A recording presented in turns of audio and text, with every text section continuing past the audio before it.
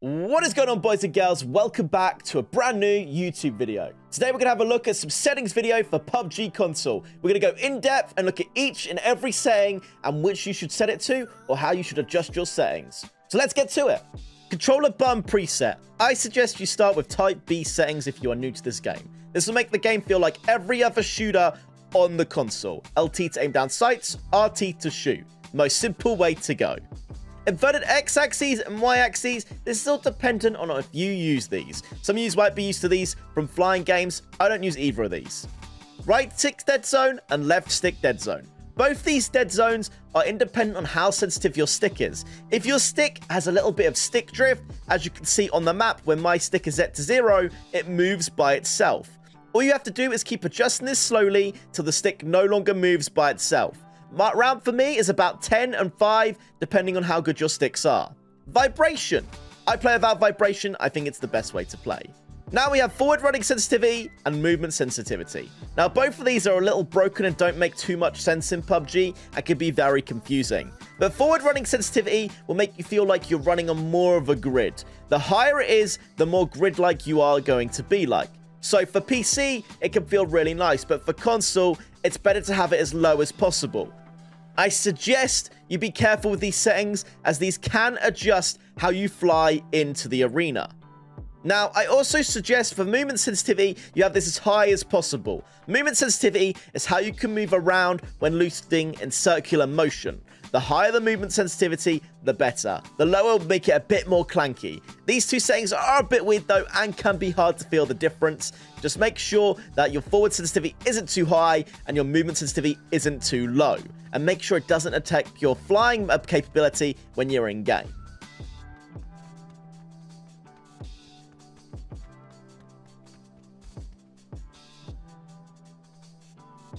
Like to have mine on around 20 and 100. This feels kind of smooth to me, and I'm very used to it. If you're not, have a little mess in training till you find that sweet spot for looting and moving around.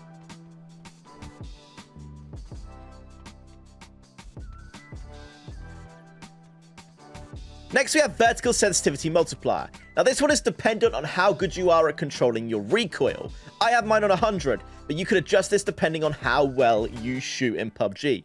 The basic way to go around this is if your recoil is too much and you can't pull your gun down hard enough, like in this clip here, make your vertical sensitivity recoil a lot higher. 120% will give you an extra 20% cooldown when trying to pull down your stick. If your scope then goes the opposite way and you're pulling too far down, the lower vertical sensitivity multiplier will be better. I like it on 100, but depending on how you're struggling with the game, you might have a better preference for yourself. This could also be adjusted in your little settings in the training ground to make it much easier. Next, we have general sensitivity. This is how your character looks around without aiming down its sight. I'd say have this around 15. This means you can switch from target, you can move around nice and clearly without having to worry. Having this too low will make you very sluggish on the battlegrounds. The benefits having this a bit higher is, is if you have a lower sensitivity, you can scope in at your enemy, unscope, and then flick to the next target without having a high sensitivity. I already use a mid-range uh, kind of sensitivity. It's not a massive issue for me, but it is very nice to have a bit higher than it is lower. This also really helps them up-close gunfights with SMGs and such. Even though you were using the barrel here, being able to move around and hit fire directly on our target is a big, big opportunity.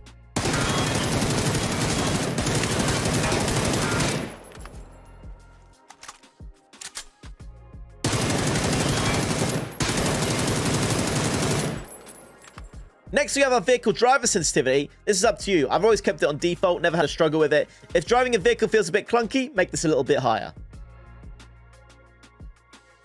Aim acceleration. This is a very difficult one for me as I have this disabled. But if your sensitivity is a bit too low, I suggest you turn this up just a bit. The longer you aim down your sights and keep turning, the faster it will get if you have this enabled. I think it's better to have it disabled just so you can get used to it. Over the shoulder aiming. Now, this is when you over-the-shoulder aim with the LB button on the B settings. I like to have this as close to my normal sense as possible, but at the same time, I hardly over-the-shoulder aim. Get used to this as much as you can, though, and you'll be able to dominate on the battlegrounds. I tend to just hip fire more than I do over the shoulder or just aim down my sights, but having this around your the same as your general sense will make it a lot smoother for you.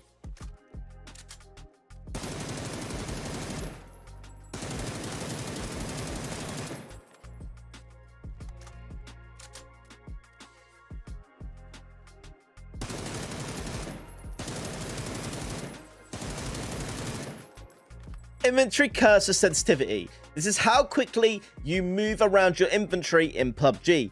I suggest putting this all the way up to 10. I tend to use my D-pad to go around my inventory, but if you do use your analog sticks, messing with the setting could be a good option. I just put it on max and I hardly use them to actually move my inventory.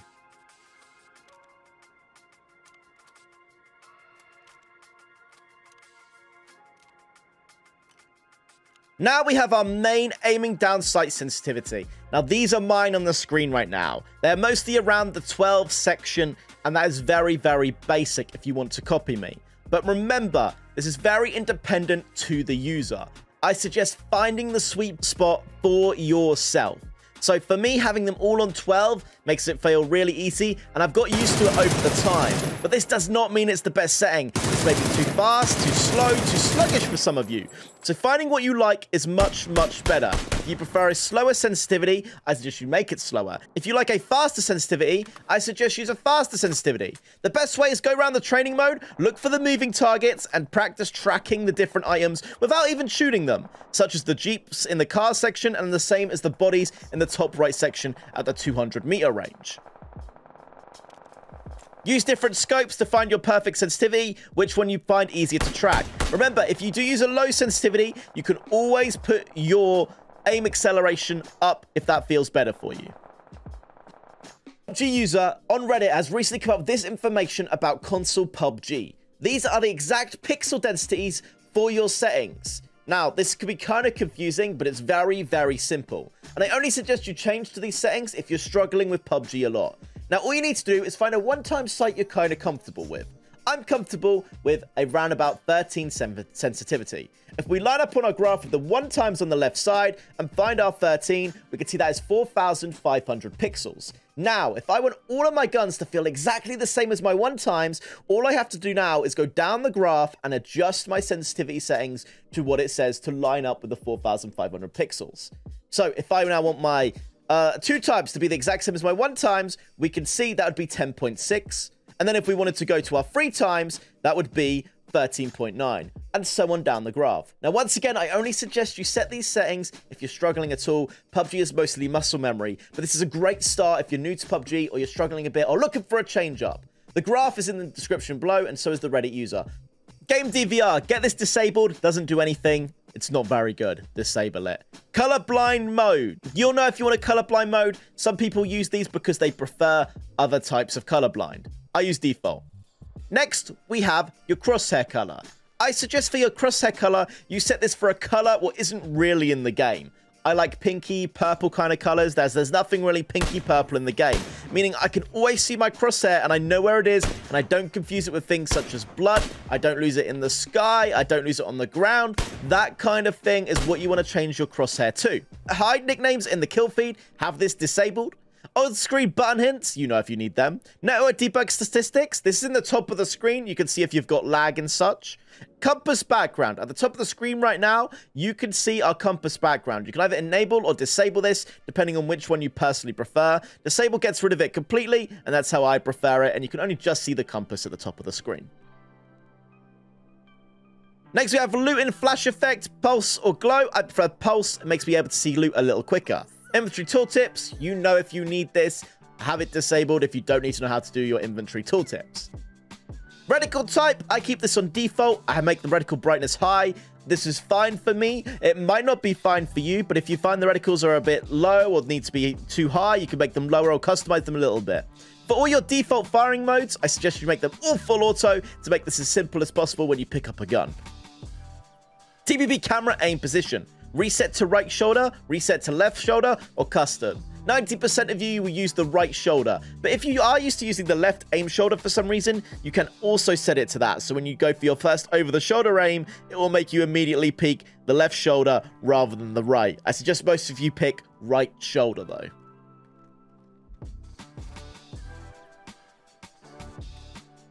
Auto reload, self-explanatory, but when shooting a full mag, you'll automatically reload at the end of your mag.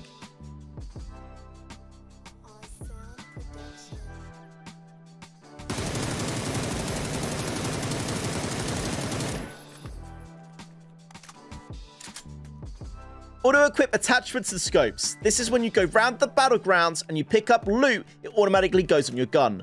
I have this on. It could be a little bit hard to learn though. As you can see when picking up the comp grip, red dot, and cheek pad, it automatically went onto my SKS. Next, we have hide helmet, auto replace weapon skin. It's up to you if you want them on. Radio message is very important. Get this enabled, option one, and quick ping enabled as well. This means with the right stick, by one tap, you could do a quick little ping, and this is very good for making callouts. Rather than calling out a number, I could say he's on my yellow ping to my teammate. He can see exactly where the guy is. Next, we have continue item use. Put this on bandages only. This means when bandaging, you'll keep using bandages till you've got to your full 70, 75 HP. Additional action queuing. This is very important. Get this enabled as soon as possible. This means your game will remember which buttons you have recently pressed. So when climbing this stool right here and holding the R2 button, my character will shoot.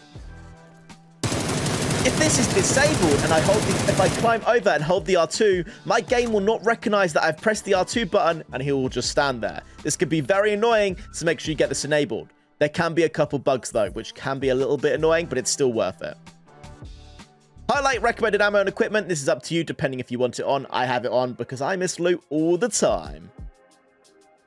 Others, camera speed. This is only if you're using observer mode. You don't need to touch these. Audio, this is dependent on you. You may want to turn off your music, your weapon sounds. You may want to change them to legacy or the new ones, depending which ones you prefer. It's totally up to you on the audio.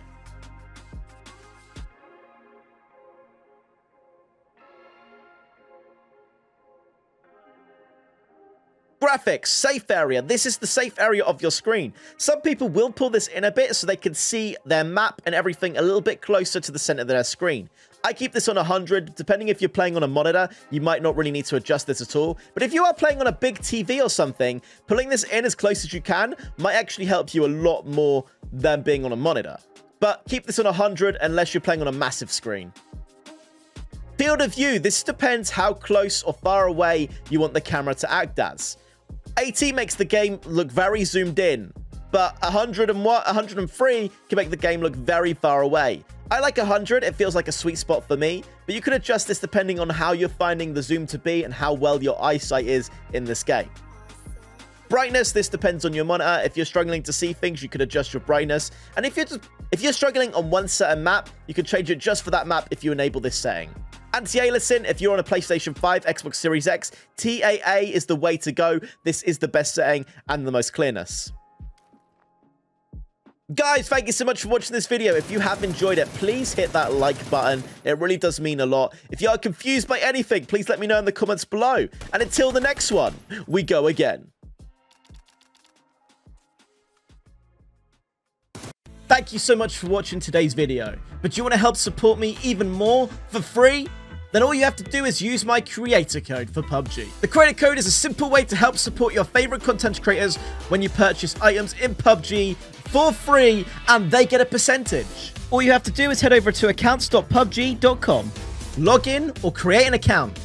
Once you've logged into your account, make sure your gaming platform is linked to your account, the PlayStation, Steam, or Xbox account. Then all you have to do is head down to Creator Appreciation Program and type in the box Gaming Nacho and then click Submit. This helps support us huge, so thank you to every single person that uses our creator code. I hope you have a wonderful day, and we'll catch you next time.